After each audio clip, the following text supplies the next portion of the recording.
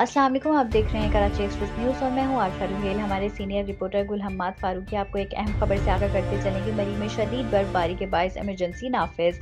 फौज तलब, अल्लाह रहम करे, आमीन। इतवार शाम तक सब दाखिले रास्ते बंद। मरी गिलगित में ठंड से गाड़ी में सवार सारे बंदे फौत हो गए। गिलगित में ठंड से गाड़ी में सवार थे सारे बंदे फौत हो गए। नंदल्ला राजून अल्लाह पाक जन्नत को आला मुकाम अता फरमाए।